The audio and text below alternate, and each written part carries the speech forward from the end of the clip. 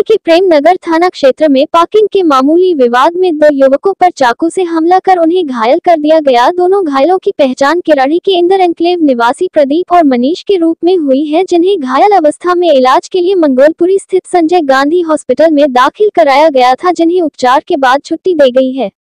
जानकारी के अनुसार प्रदीप और मनीष दोनों भाई हैं और किराड़ी विधानसभा के इंदर एनक्लेव में परिवार के साथ रहते हैं। देर रात गली में स्कूटी पार्क करने पर पड़ोसी राहुल नाम के युवक ने पहले स्कूटी पार्किंग को लेकर धमकी दी। फिर अन्य साथियों के साथ दोनों भाइयों को चाकू मारकर घायल कर दिया। जिसके बाद प्रेम नगर थाना पुलिस ने एमएलसी और पीड़ित के बयान के आधार पर आरोपी के खिलाफ 324 बटा चौतीस का मामला दर्ज कर उसे गिरफ़्तार कर लिया है जबकि साथी फरार है। आ, नाम बताइए अपना। प्रदीप।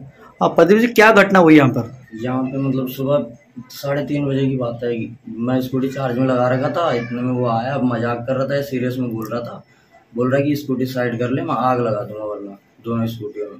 तो जो मेरी स्कूटी जिससे मेरा काम दाम चलता था, उसके लिए कुछ बोलेगा तो मैं तो गुस्सा करूँगा। फिर मैंने भी बोल दिया, ठीक है, जा जो मर्ज़ी वो कर लियो।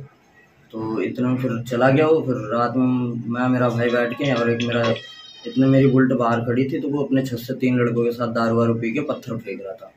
तो फिर उसके बाद जब मेरा भाई गया घर पे उसकी शिकायत लेके कि आंटी, उसकी मम्मी से बोल के कि पत्थर फेंक रहे हैं वो लोग। उसके बाद वो एकदम से मतलब उसके बड़े भाई से मैं बात कर ही रहा था तो वो अंदर से चाकू लेके आया, मेरे भाई पे हमला करा और मैंने अपने भाई को बचाया तो उसने मेरे पैर में मतलब हिप्स के नीचे मार दिया चाकू।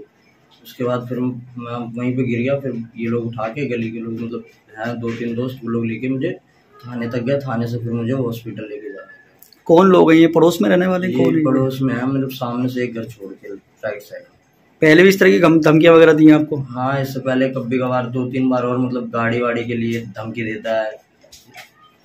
पुलिस की क्या कार्रवाई रही अब तक? पुलिस की कार्रवाई अभी तक तो कुछ पता नहीं चला कि क्या हो रहा है वहाँ पे सामने में क्योंकि मुझे तो घर पे रोक रखा है।